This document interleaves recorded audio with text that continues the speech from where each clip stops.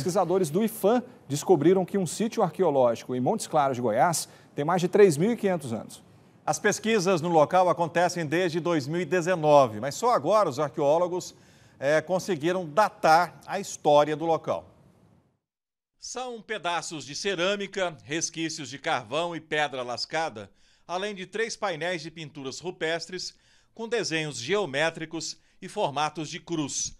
Tudo foi encontrado nesse conjunto de pedras que serviu de abrigo para humanos em pelo menos dois momentos da história.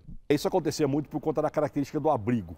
Então, é, alguns povos já utilizavam aquele abrigo numa determinada época, em primeiro lugar, é, caçadores, coletores, e depois, num segundo momento, em razão da facilidade do abrigo onde eles se encontravam, por conta daquele, daquele terreno rochoso, os agricultores ceramistas. O sítio arqueológico tem mais de 7 mil metros quadrados, um pouco menos do que um campo de futebol, e fica no município de Montes Claros de Goiás, a cerca de 270 quilômetros de Goiânia, numa região que era conhecida pela população como Toca da Anta.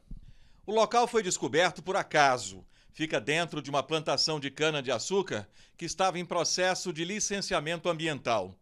Testes feitos nos Estados Unidos apontam que a ocupação do espaço acontecia há pelo menos 3.500 anos.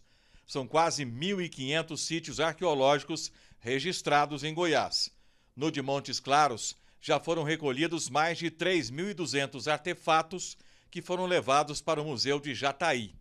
Pequenos fragmentos que nos ajudam a entender como era a ocupação do território goiano milhares de anos antes do Brasil ser descoberto. Não só hoje, mas as gerações futuras vão ter acesso a esse sítio também para entender como se deu a evolução do ser humano, dessas comunidades, como eles viviam. Isso é importantíssimo, é uma riqueza sem, é imensurável.